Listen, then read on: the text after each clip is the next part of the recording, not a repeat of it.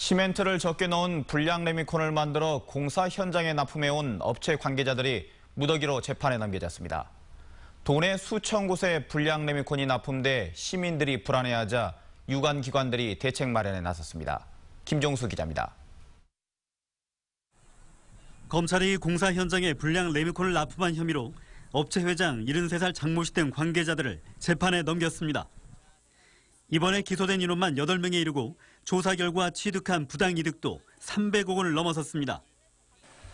이들은 지난 2013년부터 시멘트 함량을 15%가량 줄여 배합한 후 규격에 맞는 것처럼 속여 현장에 납품했습니다. 특히 배합 설계표를 조작하고 관련 서류를 허위로 꾸미기도 했습니다.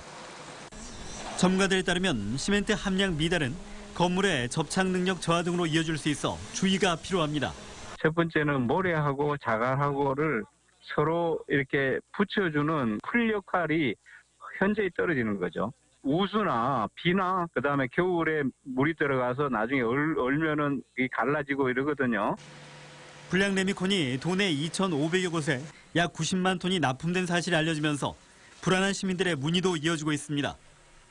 이에 따라 해당 유관 기관들은 발등에 불이 떨어졌습니다. 순천시와 광양경제청 등은 시공사에 대해 안전 진단을 요구하고 합동 점검을 준비하는 등 대책 마련에 나섰습니다.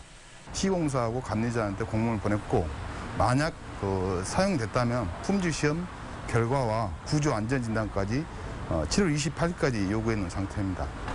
이번 달 안으로 조사 결과를 취합한 뒤 관련 대책을 마련한다는 방침입니다. 한편 경찰은 이번 사건과 관련해 유착 의혹 등 추가 수사를 계획하고 있어 결과에 따라 만만치 않은 파장이 예상됩니다. MBC 뉴스 김종수입니다.